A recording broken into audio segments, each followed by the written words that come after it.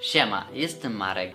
Każda prestiżowa osoba już subskrybuje mój kanał, więc jeżeli nie jesteś Januszem i jeszcze nie subskrybujesz mojego kanału, zrób to jak najszybciej. Kliknij czerwony przycisk na dole. Zapraszam do oglądania tego odcinka. Wolałbyś odbyć stosunek seksualny z 80-letnią dziewicą czy z młodą, piękną dziewczyną, ale już nie dziewicą? Muszę trzymać się zasad. Gdybym miał wybierać, to jednak wybrałbym stosunek z 80-latką. Nie biorę używanego towaru. Wolę przeterminowany. Masz downa? Nie, nie mam. Trzymanie osób twojego pokroju w piwnicy było modne w tamtym sezonie. Lubię cię. Dziękuję. Dlaczego nie rozdasz tych pieniędzy potrzebującym? Następnym razem od razu podaj numer swojego konta bankowego. Po co te ceregiele? Czy jesteś wierzący? Oczywiście, że tak. Od zawsze w siebie wierzyłem. Czemu jesteś taki zajebisty? Żeby inni mogli być przeciętni.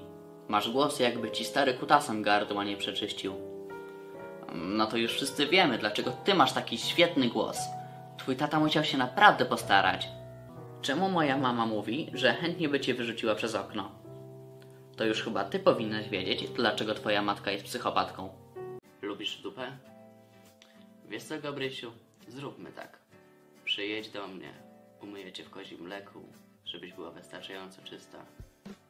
A później zobaczymy, czy mi się podoba. Obrażasz widzów, szmato. Za to ty, jako widz, dajesz mi dobry przykład, jak zachować kulturę osobistą na wysokim poziomie. Bardzo dziękuję. Czemu jesteś aż tak pusty? Żebyś ty mogła być pełna, kiedy skończę w tobie. Waliłeś kiedyś konia? Czasami mi się zdarza, jak już nie mogę wytrzymać, ale myślę, że to coś w zupełności normalnego, zwłaszcza gdy zwierzę odmawia posłuszeństwa.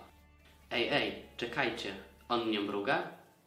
Tak, jestem na wyższym stadium ewolucji i mój organizm uznał tą czynność jako zbędną. Lubisz pokazywać, że jesteś bogatszy od innych? Moim zdaniem to niezbyt eleganckie zachowanie. Trzeba pamiętać, aby zachować klasę i nie wywyższać się. A swoją drogą, strasznie by gorąco. Jesteś debilem. Cóż, muszę przyznać, że to dosyć mocne słowa jak na 12-letnią dziewczynkę. Ile masz w łapie? Poczekaj.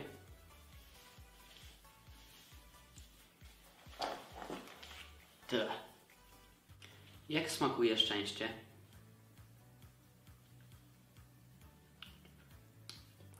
Cóż, może być.